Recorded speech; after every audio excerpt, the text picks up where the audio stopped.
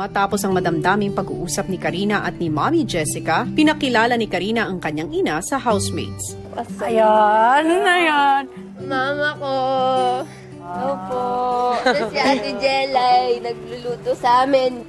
Si Ali, si Seth, tapos si Lee, yung makulit. Hindi ah! Sobra. Si Kuya Riz, si Aljon. Yan.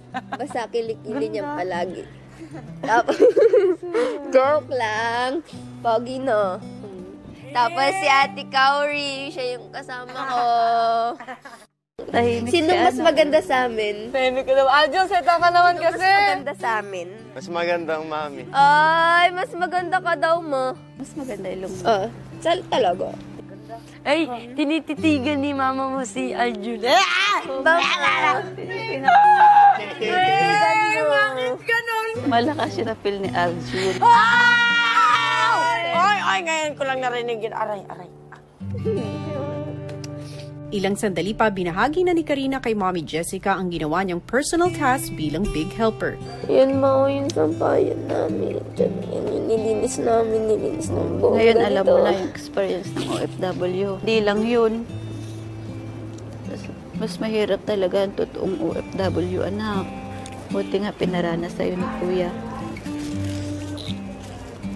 Alam, na, alam mo na, ang hirap na ginagawa ng nanay para sa inyo. Yup. Kaya proud din ako sa'yo dahil hindi ka nagpabayad sa school mo. Kaya gusto ko rin magtrabaho na magtrabaho para makapag-aral ka ng mabuti. Gusto ko mag-aral ka sa yung school na gusto mo. Kasi alam ko matalino ka at kaya mo. Sana mabalik yung buhay natin doon. Hayaan mo kung ano man, ano, plano mo.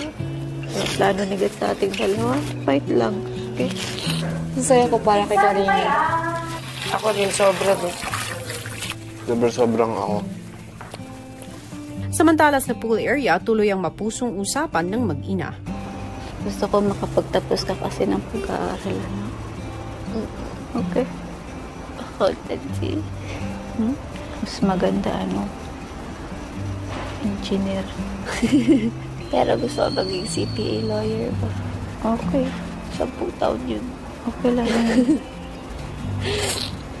Kaya mo naman. Susuporta man naman kita. Bibigyan ko na lamang kayo ng huling hulong minuto